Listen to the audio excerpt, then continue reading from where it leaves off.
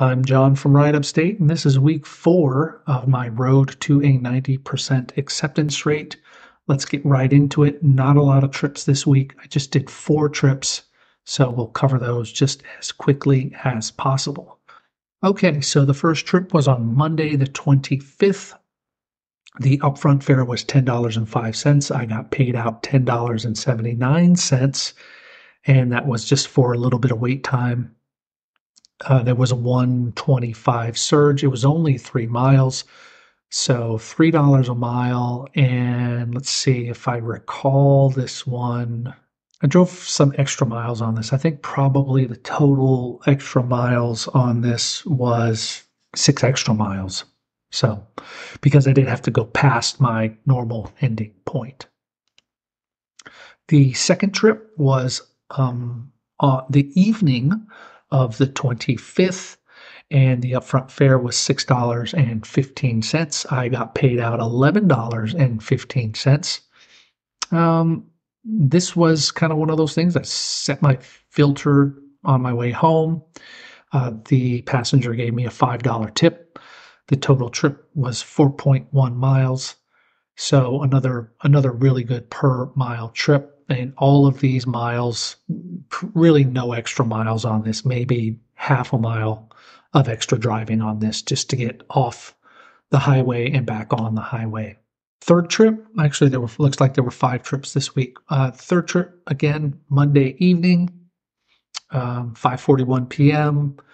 And this was in town uh, as I was heading home went ahead and grabbed it. Really short trip, $6 for 1.6 miles. Another Monday night uh, drive, I decided to stay out and do some rides. And um, front fare of 649 I got paid 1149 thanks to a tip from the rider. Thank you very much. Short trip, and I think uh, you know 3.5 miles for twelve dollars. Not bad, in you know 10 minutes of drive time. Final trip here was uh, Wednesday morning. I picked someone up and I took I took this guy to work to the car wash. Actually, got my car washed. Uh, so ten dollars for uh, a um, little around two miles. I did end up driving. A, there was some extra drive time here, so there was the one point, the two miles out, and then the two back plus probably another mile and a half. So four, five, five and a half, six. We'll call it.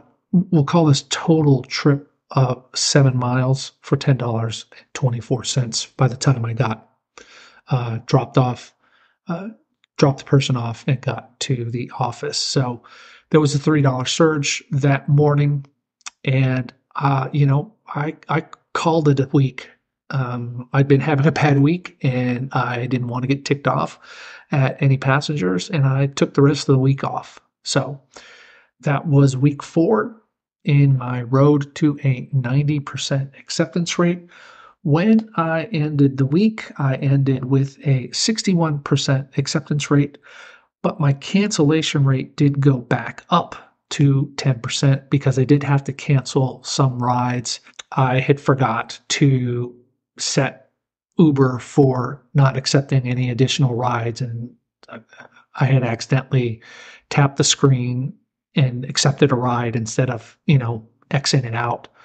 So uh, I think two or I think that happened two or three times. I think in one instance I actually just like rage quit because uh, I didn't want to deal uh, with the trip. Oh yeah, I remember what it was. I didn't realize that the trip that was coming up was someone going to the uh, go into the high school, and I don't have teen rides turned on, so the chances of me getting a trip to the high school that's not a teenager are fairly low.